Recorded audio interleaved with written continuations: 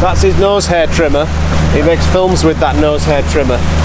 Ridiculous, isn't it? Right, so we're heading to Brady's Beach. That's Bamfield. We just left Bamfield. And we, we had our very handsome captain come and pick us up on the taxi boat. And we're heading off to the other side of the bay to get to Brady's Beach. And uh, who's this gorgeous little chap? Biff. Biff. Are you Biff? oh, Biff is our mascot.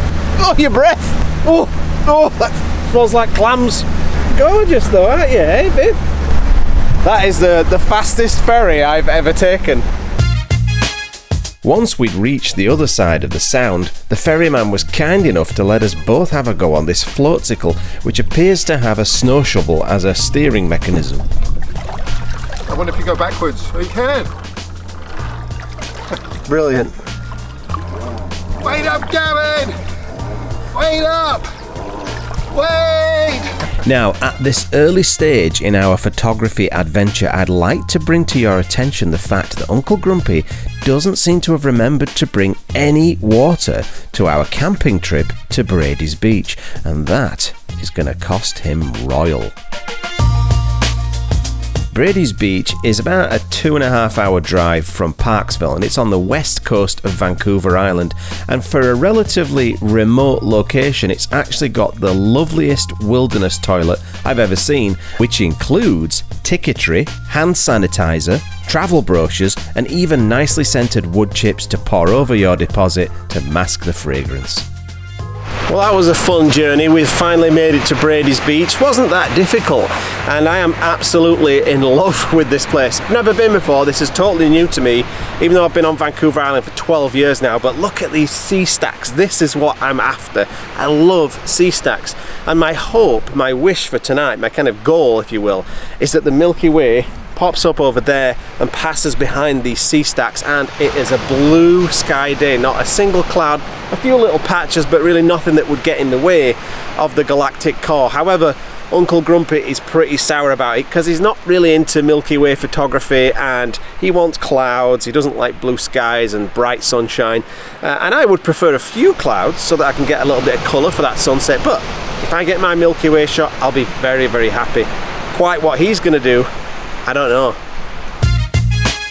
It's always really exciting to get to a spectacular new shooting location, especially when it's not that far from home. We were both like giddy school kids, let loose on a new playground, hunting for compositions. Now, I'm sure that you guys watch these vlogs and think, oh, he's so lucky to live on Vancouver Island, and you're right, but it took a lot of hard work and effort to make it here to the island, and I never take it for granted. But I've done a quick little hike around the shoreline and there are endless foreground objects that I can put in the frame and create curves and leading lines. We've got tide pools for reflections, all of that lovely green algae. It's absolutely tremendous. The only thing is I can't get too attached to any of these beautiful foreground objects that I'm seeing right now because the tide has gone out and I reckon by the time the sun gets low enough that we get nice light, it'll probably come back in. So I know that things are going to change, but that's not going to stop me from wandering around and finding compositions that if the conditions are right when the tide comes back, I am totally going to get those shots. Yeah, I've just spotted, I know I said I wouldn't try and get too attached to any particular composition because everything could change with the tide. But if it doesn't, I'm really hoping that this massive tide pool, which is full of creatures, all kinds of interesting creatures, and beautifully reflects this sea stack. I'm really hoping that this is still intact tonight, either for sunset or for Milky Way. The only downside with the Milky Way at this time of year is it's like, I think three o'clock in the morning, maybe 3.30 in the morning. So uh, I might have to get my sleep in early and then wake up and come back out. Or I might just be so excited that I can't sleep and I just stay up all the way through the night. But either way, it's totally worth it if I can get that shot. What do you think? I'm really feeling it, man. Is it a spiritual experience for I'm you? really feeling it. It's pretty brilliant, isn't it? I can't believe we've never been here after all these years. This is British Columbia's only sea stack, I think. I don't know if you can see on the video, but there's a there's a bald eagle just on that tree right at the top there. Right. He's looking at us. He's, lo- he's looking at you. We think it's a bald eagle. It might be a pterodactyl. That's how huge it is. what do you think? Set up camp? Yes, set up camp. How do you feel about this absence of clouds? Uh, it sucks. You're a bit sour about it. I am a little bit. But we've got Milky Way. All right. Shall I get you up at 3 a.m.? Yeah, all right. Yeah? What, what will you say when I wake you up at 3 and say, Come on, Adam, it's time to go and film the I'll stars?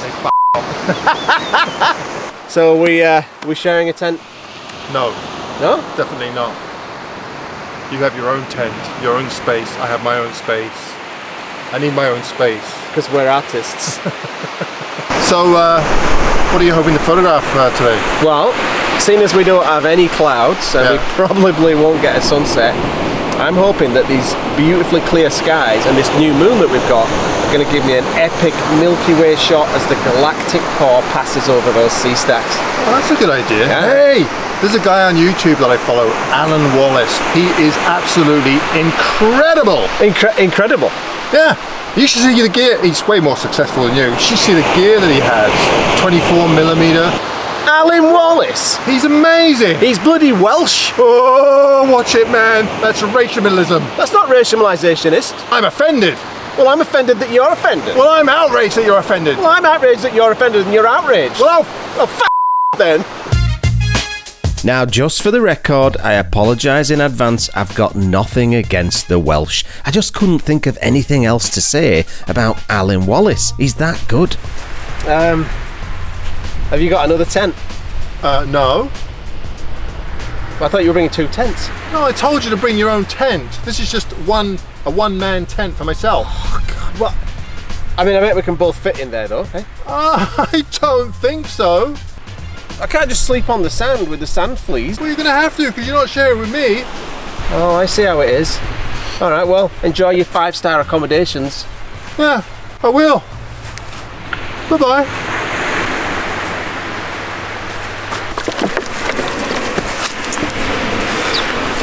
Hey, Gavin. Listen, mate. I've had a I've had a change of heart. I uh, I think I can squeeze you in my tent. Oh, really? Yeah, I think I think I was you know overreacting. I, Oh. I really think you you could we could fit in there quite comfortably. Yeah. Oh, you were a bit hasty, were you? I was. Yeah. Yeah. Yeah? Yeah. Oh, Yeah. nothing to do with uh, the fact that you've run out of water, is it? Well, no. I mean, I noticed you got quite a bit there, but Yeah. no, it has nothing to do with the Nothing to water. do with that? Nothing. Nothing. Oh. No. I, I don't know. You you hurt my feelings with that Alyn Wallace comment. Ah, I, I was bullshit, man. I was just, I was just joking with you. Yeah. You're, you're a way better photographer than Alyn Wallace. I mean, you, your, your star photography is some of the best I've ever seen. Really? Yeah. The best you've ever seen. Yeah. So maybe I could be a you know landscape photographer of the year one day. Yes. Yes. I think, I think you could, especially if you, you know, shared your water with me. Yeah. Well, all right. I'll share my water with you, and I'll I'll get in the tent. But uh, you're not borrowing my shit Oh, come on! Well, I'm pretty sure that Adam won't be quite so sour right now because look at this. We've got some clouds, and it's about 20 25 minutes away from sunset.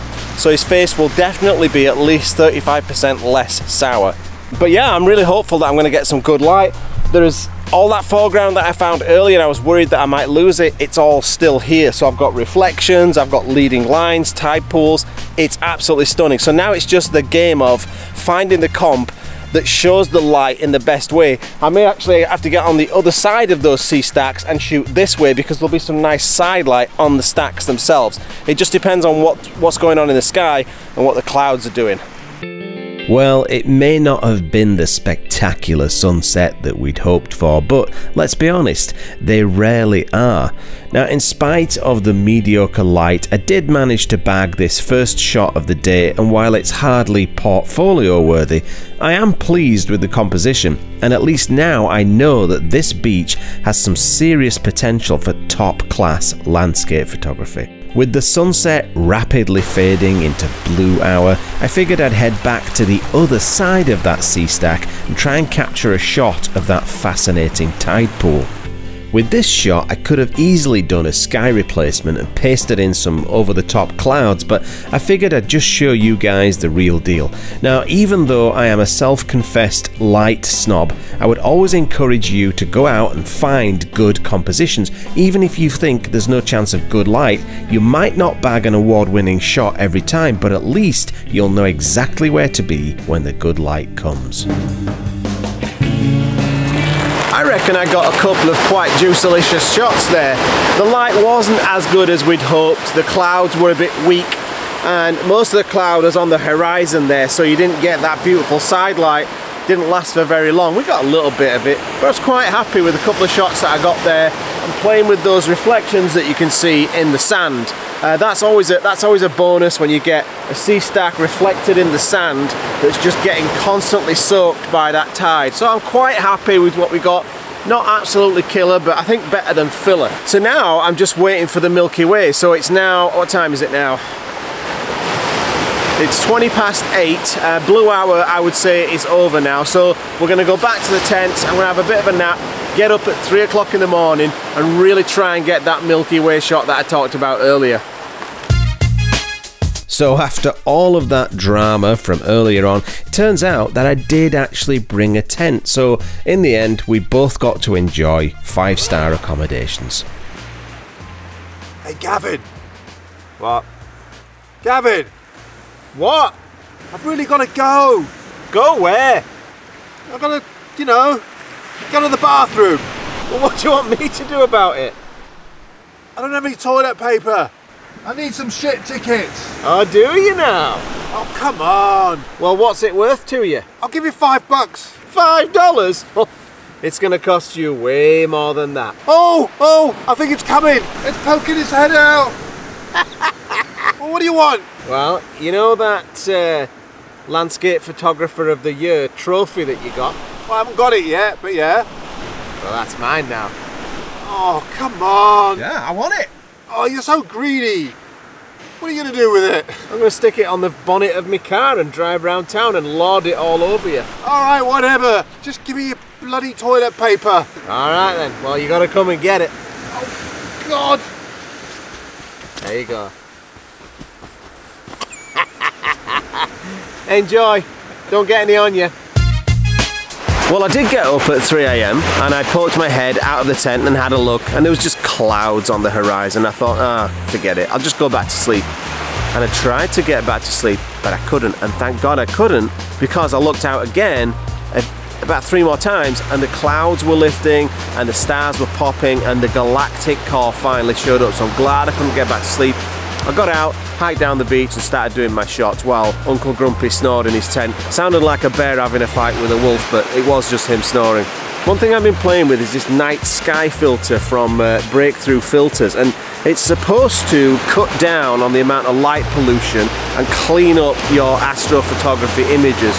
Uh, so this is the actual filter and it's part of their magnetic filter system. So they gave me this holder that you clip onto the front of your lens, you thread it into the, the, the filter thread and then these magnetic filters just clip in and out and you can pull them in and out really fast. So if you've got like an ND or a selection of NDs, you've got this night sky filter, polarizers, they're really quick to pop in and out.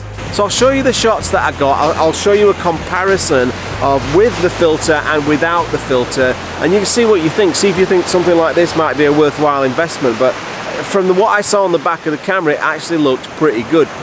Here is a test shot with no filter and only very basic Adobe Camera Raw processing. And I copied the exact same processing settings over to this shot with the filter. And at first glance, it appears that the Milky Way has a lot more contrast and clarity, but definitely a very blue cast. And I use zero color noise reduction and the same camera settings for both images. And first impressions of this filter are very good, but it needs further testing. But I have placed a link in the description if you want to learn more about this night sky filter from Breakthrough. So now I'm going to stick around for the next hour or so and wait for the sunrise. His Grumpessence should rise pretty soon from his ancient slumber and join me on the beach and hopefully we can get a more epic sunrise than we got a sunset last night because there's some gorgeous clouds on the horizon so I'm quite hopeful we're going to get some good stuff. Well, I just woke Uncle Grumpy up and told him to get his ass on the beach for sunrise. It's not too bad, it's not absolutely fantastic, but there is that nice pink stripe of light just behind the sea stacks, which is exactly where I wanted it. And I like how it's reflecting in this gorgeous sand. So I don't think it's gonna get any more pyrotechnic than this, but with a few processing tweaks, I should be able to turn it into a fairly decent shot. Out of all of the shots from this little photo trip, this composition was my favourite. Those curvaceously hypnotic sand patterns are so typical of the Pacific Northwest. And it's got all of the ingredients. It's got decent light, but it's got those dramatic sea stacks, reflections, pearlescent leading lines in the sand. All I needed was a unicorn riding out of a rainbow. Is that too much to ask? Well, that's the sunrise over. It wasn't amazing, but it was alright. I got a couple of decent shots. I've had two hours of sleep, and I do have a face like a petrified sock puppet, not unlike Alyn Wallace.